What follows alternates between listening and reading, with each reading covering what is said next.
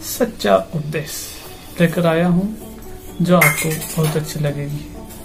मुझे विश्वास है, क्योंकि आप साहित्य प्रेमी हैं, ये मुझे पता है। तो चलिए शुरू करते हैं कहानी सच्चा उपदेश एक बार एक साधु भिक्षा मांगते हुए एक घर के सामने पहुँचे। घर से बाहर एक महिला आई। उसने साधु की झोली में भिक्षा डाली और बोली कि, महात्मा जी, कोई उपदेश दीजिए। साधु ने कहा कि आज नहीं, कल लूँगा। अगले दिन साधु फिर से उस महिला के घर पहुँचा और भिक्षा मांगी। उस दिन महिला ने खीर बनाई थी। और खीर का कटोरा लेकर बाहर आई।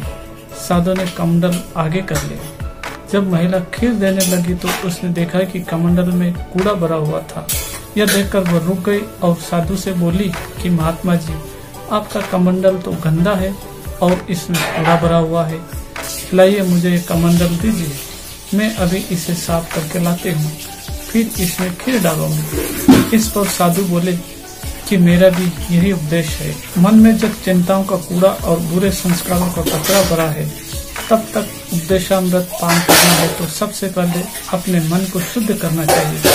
कुसंस्कारों का त्याग करना चाहिए, तभी सच्चे सुख और आनंद की प्राप्ति होगी।